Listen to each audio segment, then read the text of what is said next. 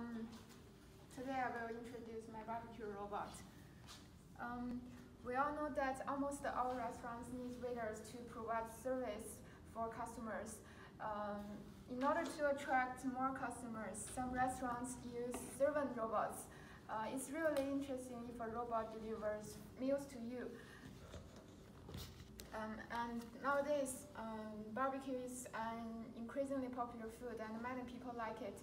Um, in barbecue restaurants, the um, barbecue grill is directly installed on the table and the waiter um, grill the meat for their guests. So it's a really interesting topic for me to let the robot make a uh, robot for people. Uh, then I did a research. I found um, robot can save a lot of money for the restaurateur. Um, the purchase fees of a robot is uh, 60,000 RMB and it can be used for five years. So the total cost uh, will be 22,000 RMB per year, includes the electricity fees.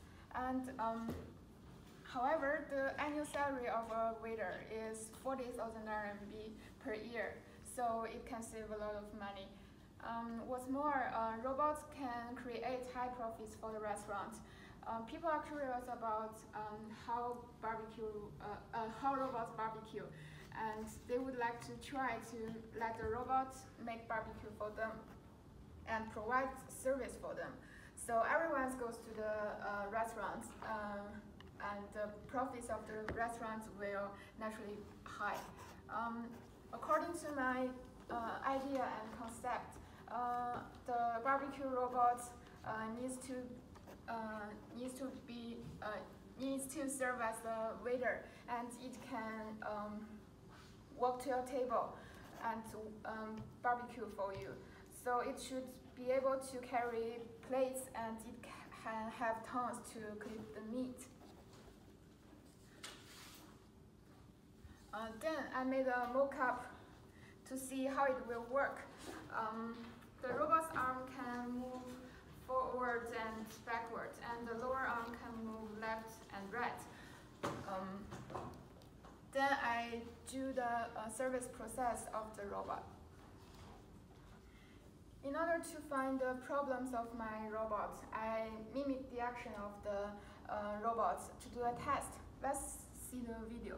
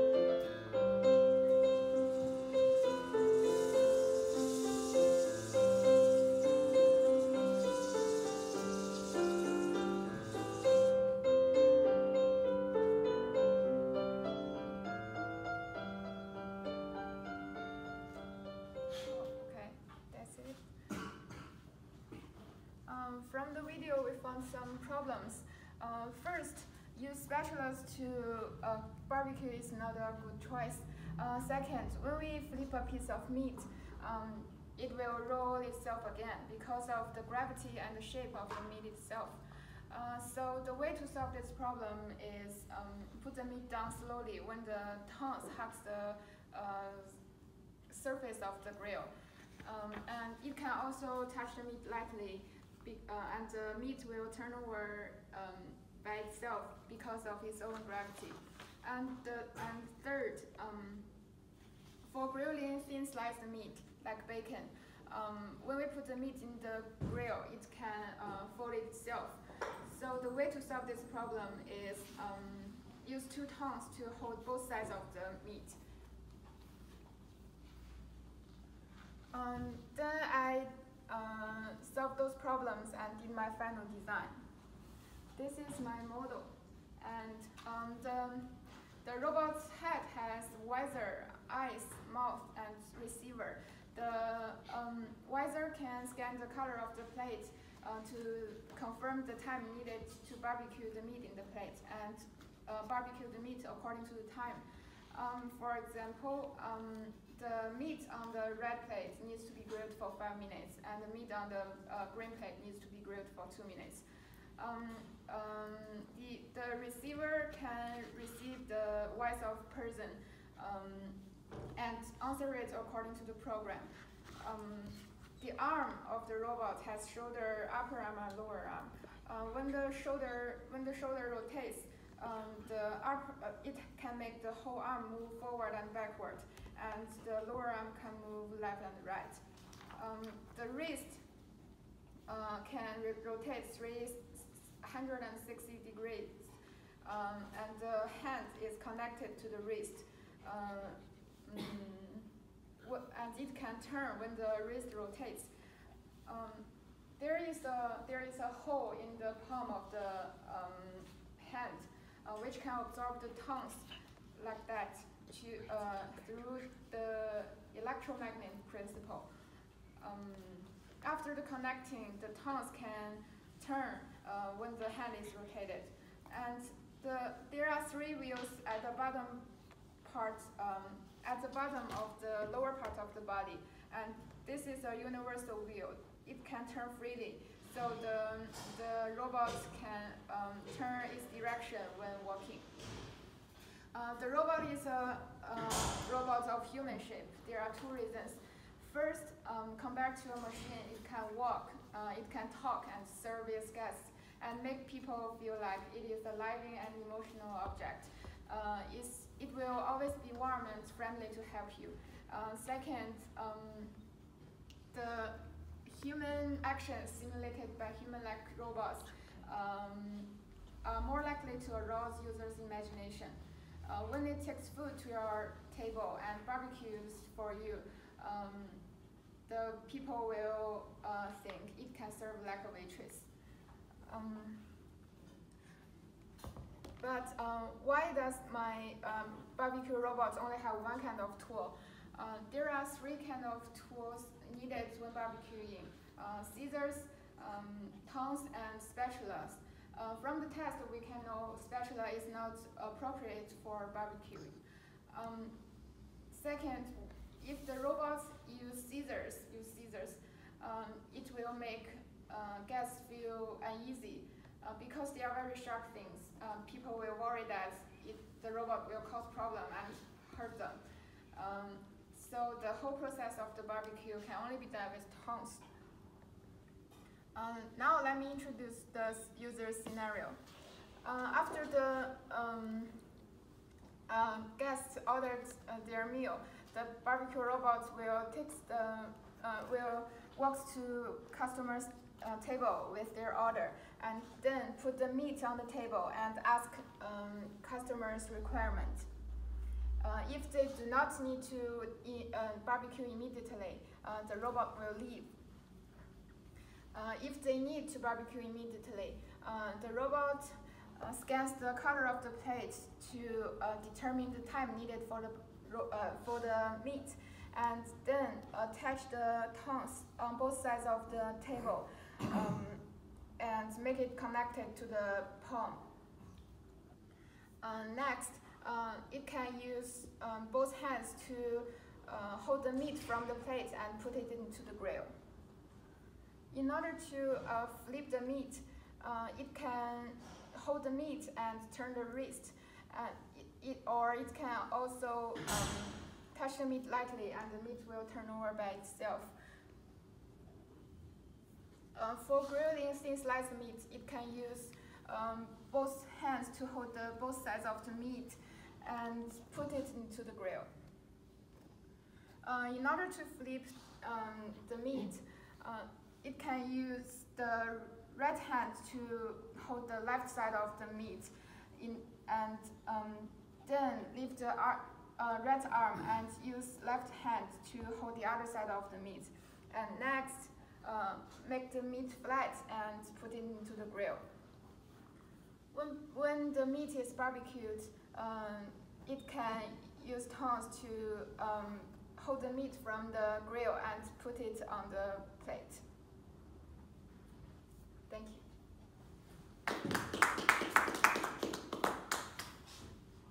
That was eleven minutes. Good close. Um, I'll make a few comments. Have you ever been to a Benihana restaurant? It's a Japanese I restaurant. mentioned it. No. Teppanyaki, like, I, I went to I, I went to um, Korea restaurant. Okay, this, you sit around a big table, that's hot, and then they cook the food right in front of you. Eat it at, at the cooking table. What I'm thinking about is, um, I wasn't quite sure if your robot was trying to, uh, enable restaurants to have less people working there and, and save money for the restaurant, or if this was a novelty or some performance that was just fun. You know, I would love to go to a restaurant, uh, you know, like uh, Benihana restaurant, they, they cook in front of you and it's entertaining. It would be fun to have your robot cook for us, you know, and watch them and see my food prepared. That, that would be great. I'd love that. Um, a, a real cook, a server, and that, they do it very well. This robot really doesn't necessarily do it better than they do, but it would be really a lot of fun to have this robot available to give that performance and have a party. If, you've ever been to a restaurant where the, the, the cooking is done right in the middle of the restaurant, so everybody's sitting at the tables and they're watching the chefs cook the food. It's part of the entertainment of, of preparing the food. Uh, so I think that might be something you might wanna think about your story. Don't, don't only think of this as saving money or saving labor or things like that. Maybe it could be more than that. Um, certainly the design, it looks like it's fun. It's, it's like, I would like to watch this robot cook my food. You know, it's, it's a beautiful design from that standpoint. Um, the other thing I was, uh, thinking about is, I think you wanna add to your story the food preparation. Before the robot starts actually cooking the food, how is it, uh, prepared? Do they cut the meat, you know, is it, you know, so that it, the robot's ready to start cooking the meat? Um, this robot theoretically should be able to go over the refrigerator, pull the meat out, do the cutting, prepare it, and then, you know, get it ready to be cooked, and then do the cooking, and, and then it gets delivered to the, the customer. So, food preparation ahead of time is, is a perfect thing for robots. Mm-hmm. That's the tedious thing, if you've ever worked in a kitchen, you've gotta make hundreds and hundreds of things that, you know, it's repetitious and it's boring and mm-hmm. then you put it in the refrigerator and then when you're ready to serve it to, and cook it, then you pull it out of the refrigerator, cause that preparation is almost perfect for robot applications. So you might you might think about that as well. Okay. And that's that's what I was thinking too. Um, in fact, that the Benihana thing is um, it's, it's it is an entertaining thing because the guy whips knives around, he flips things in the air, and he throws food, around, and slams the food over to you. But it's but it's but it's all fun. So I think the, the user experience in this part would be part of the fun rigid robot. Maybe it's, maybe it talks to you too while it's doing its thing, you might wanna think about that. It sings while it's cooking. Yeah. And, and this is just for meat, uh, I, I know a lot of barbecues, you, you have other things besides meat, have you looked at? That, that you just, it's just focused on meat? Mm, focused on. Because barbecue, sometimes there's, there's vegetables and things that are barbecued with it too, I was just wondering if, Mm, if that, if it's, I, I, I think, um, you just have, I- I'm just saying that might be something to look at, for, Uh-huh. that- just to, to, uh, and then also, um, where does this, um, this is in the restaurant, so, and I noticed you have, you can change, it looks like you have, can change colors and things like that, so, so that's part of the branding of this, that it could, you could have the logo or something on the, yeah, uh, part of it I think about it, I Yeah. think the logo will, can put here. yeah, okay, yeah, that, that might be another thing too, so I'm glad you thought about just, not just having one, you have a, a system of, of of robots, so. Um, but, uh, I, it's, it's an interesting project, and looked like it was a lot of fun, um, and I, I agree with John, that would be fun to watch a robot cook for me. I mean, they weld cars and everything else, they paint cars and all that, so there's no problem, I wouldn't think any reason why a robot couldn't cook food for you too, so, those are the things. Yeah, one, one last comment about that is when you mention manufacturing lines where they have robots that assemble automobiles and paint them and things like that, they've actually changed the way that they build automobiles Yeah, to take advantage of what robotics does.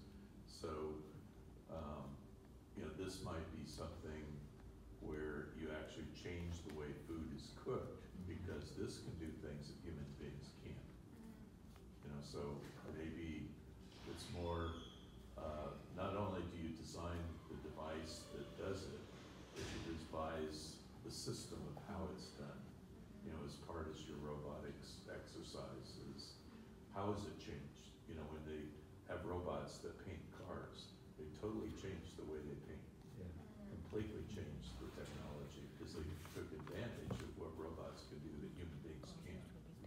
You know, so the same thing with cooking.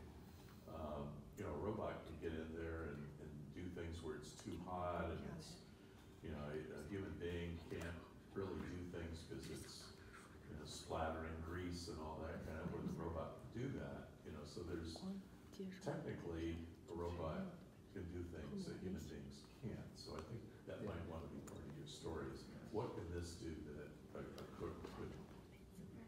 It'd be one of the advantages, not just to save money, but that would be another advantage. They work twenty-four hours without pay, Yeah, okay. no breaks, no bathroom breaks. Might need a lube job once in a while. Okay, Okay, great, thanks. Okay, Very good. Um, nice presentation, obviously you Yeah. practiced, so it shows really, really smooth and the story was clear. Uh, one critique, you showed one slide that showed all the ARM studies, I just went right by it really quick. Okay, go back to that slide. Um, So this is for everybody, you know, when you present your presentations,